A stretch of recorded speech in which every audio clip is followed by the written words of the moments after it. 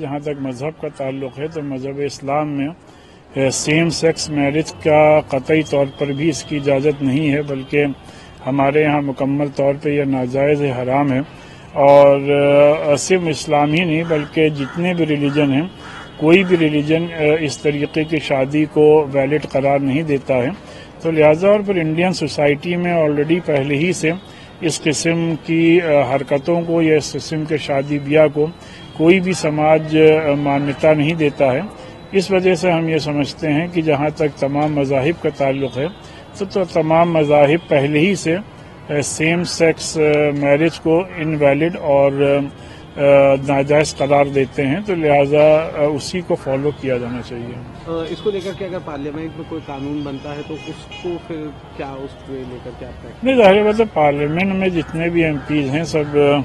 आवाम के नुमाइंदे हैं और जो आवाम के जज्बात हैं या आवाम का जो भी एहसास हैं उसी को पार्लियामेंट में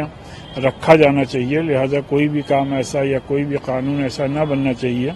जो कि आम शहरियों के जज्बात और उनके एहसास के खिलाफ हो। देखिए सबसे पहली बात तो यह है कि बहुत स्वागत योग्य और आ, हम इसका स्वागत करते हैं जो ऑब्जर्वेशन सुप्रीम कोर्ट ने दिया है।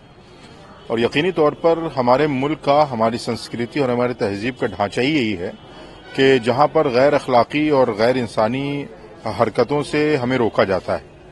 आज़ादी का कतई तौर पर यह मतलब नहीं है कि इंसान गैर इंसानी और गैर अखलाकी हरकतों में, एक्टिविटीज़ में मुलविस हो जाए और वो अपनी मर्ज़ी के मुताबिक काम करे। हालाँकि हम सब ये जानते हैं कि इस मुल्क के अंदर जो हमारा ढांचा है, जो हमारी तहजीब है, जो हमारा कल्चर है वो, चाहे वो किसी भी धर्म के मानने वाले हों, सबका एक ही कल्चर और एक ही तहजीब है और सब इस बात को नाजायज और हराम करार देते हैं कि कोई सेम सेक्स में जाकर मैरिज करे। इसलिए जो संस्कृति है, उसको प्रोटेक्ट करना, तहजीब है, उसको प्रोटेक्ट करना, ये हमारी ज़िम्मेदारी है। और मैं फिर कहूँगा कि आज़ादी का कतई तौर पर यह मतलब नहीं है कि सिर्फ़ अपनी मर्ज़ी के मुताबिक इंसान काम करे। अपने समाज को, अपनी तहजीब को, अपने कल्चर को साथ में लेकर चलना भी हमारी ज़िम्मेदारी पार्लियामेंट, ज़ाहिर सी बात है कि हमारा रिप्रेजेंटेटिव है, हमारी जो समस्याएँ हैं, जो हमारे मसाइल हैं, वो पार्लियामेंट में पहुँचते हैं और एक सांसद जो एक प्रतिनिधि होता है समाज का आवाम का, उसकी ये ज़िम्मेदारी होती है कि आवाम के मसाइल को वहाँ पर ले जाए।